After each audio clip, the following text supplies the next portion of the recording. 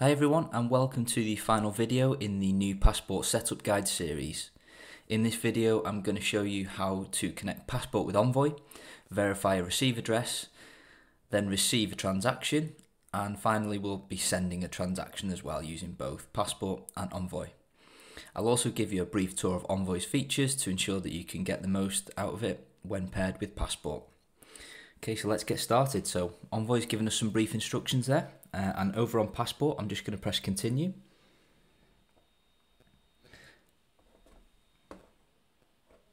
Passport now says, next, scan the QR code on the following screen into Envoy.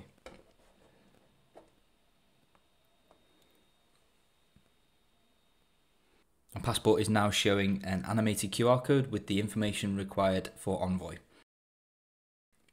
So over on Envoy, I'm just going to press get started read those brief instructions, basically just telling us that we're going to use Envoy to scan the animated QR code that Passport is displaying. I'm going to press continue again. And that's going to open our camera on Envoy. And I'm just going to scan the QR code Passport is displaying.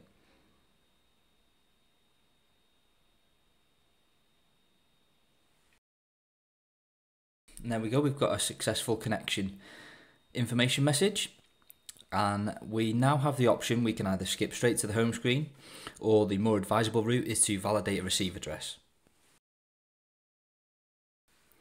So clicking continue on passports it now says next let's check that the wallet is connected successfully. Over on Envoy I'm just going to tap on validate receive address and Envoy is then going to show us one of the receiving addresses from our passport wallet and what we're going to do is scan that with passport so that it can verify that Envoy is displaying the correct address, which will confirm that the connection was successful. So over on Passport, I'm just going to press continue. That's going to open the screen on Passport and I'm just going to scan the QR code from Envoy.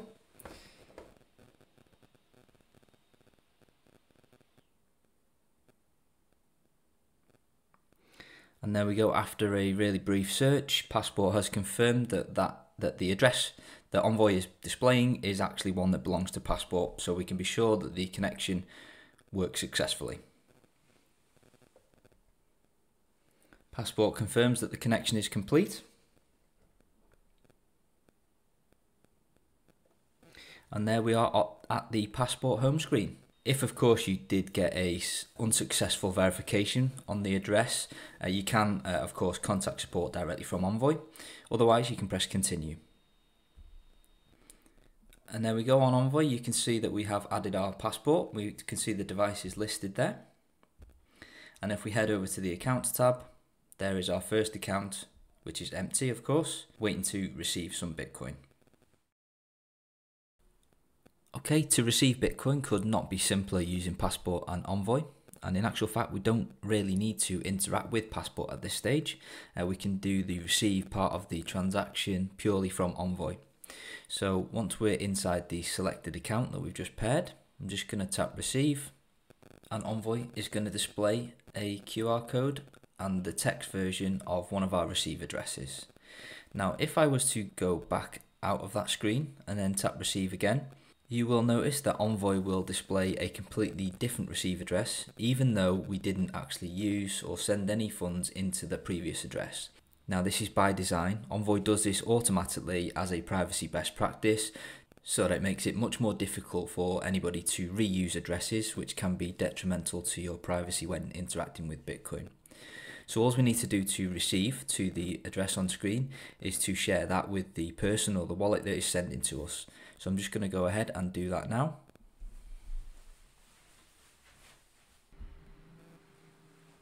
So I've just hit send from the wallet that I'm spending from into my passport wallet that we can see on screen. So I'm just going to press OK to go back to the account screen. And within a couple of seconds, there we go, straight away, um, we can see the pending transaction, which is awaiting confirmation. Once that has a confirmation, it's been processed by the Bitcoin network, I'll come back and show you how to spend those funds. Okay, so a little bit of time has now passed and the Bitcoin network has confirmed our transaction, so we are ready to spend. So just a quick recap of the architecture here.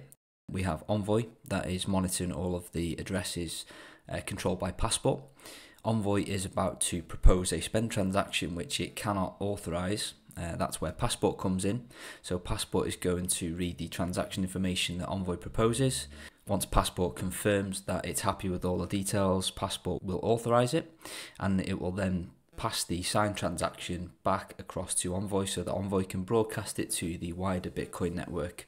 So let's get started with that. So with the account open, I'm just going to press send. Now here we need to populate the address at the top. Now you can either open the QR code scanner or what I'm going to do is paste an address that I have copied to my clipboard on my phone. And then I'm going to enter the amount that I want to spend. So I can just manually type in how much I want to spend. Or in this instance, I can send max, which will send the entire account balance. Once you've entered the amount, you can press continue. And now that we are at the fee selection screen, now Envoy makes this really, really simple. We just have two options. We have a standard option, which estimates that the transaction will be confirmed within one hour, or we have a boost transaction, which aims to get the transaction processed within the next block, which on average takes place every 10 minutes.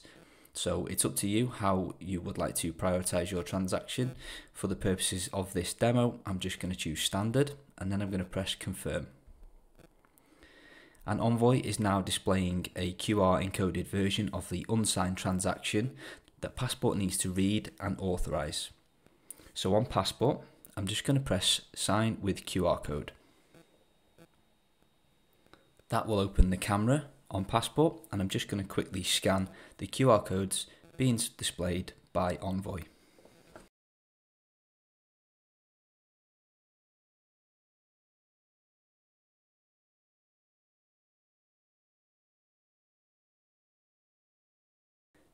So Passport's read the QR codes being displayed by Envoy and it's now going to display the transaction details for you as the user to verify.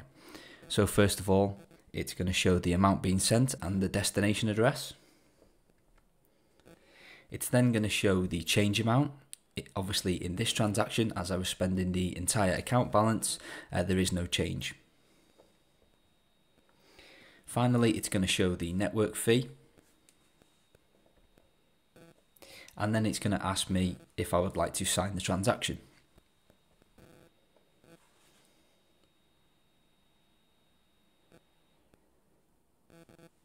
Now Passport is showing a QR encoded version of the signed transaction. You can uh, alter the size of the transaction by pressing the left and right buttons on Passport. Now this can be particularly useful if you are using Passport in conjunction with a software wallet on a computer which may have a lower quality webcam that will struggle to pick up the smaller QR codes. So all we need to do now is tap the QR code icon on Envoy which will open the camera and then we just need to scan the QR code being displayed by Passport.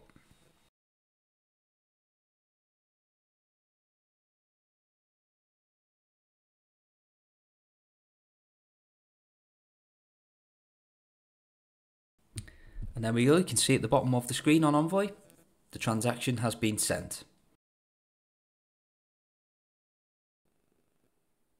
Finally, I just want to give you guys a brief tour of Envoy, our companion app. You will of course have seen some of the functionality throughout the course of this setup guide, but I just wanted to take you through the, some of the finer detail just so that you can get the most out of Envoy. First off, we have the devices tab, which displays all of the devices that you have paired with Envoy. Envoy can pair with as many passports as you have in your possession, and they will all be displayed here. Tapping on the device will show you the details of when it was paired and also the serial number. If you tap the three dots in the top right hand corner, you will be able to either delete the device or edit the device's name. Then I'd like to bring your attention across to the center of the screen at the top. You can see the blue shield. Now this blue shield signifies the private Tor connection in Envoy. When it is pulsating, that means that Envoy is trying to establish the connection. And when it is solid, as you can see on screen right now, that means that it has successfully got a connection to the Tor network and that you are ready to transact. If we press the drop down menu from the top left arrow, we can see that we have some submenus. Before I go into them, at the bottom of the screen you can see our social media icons. So on the left we've got Twitter, in the middle we've got GitHub, where you can view the uh, source code for Envoy, and on the right hand side that link will take you to our Telegram community. So moving on to the settings menu.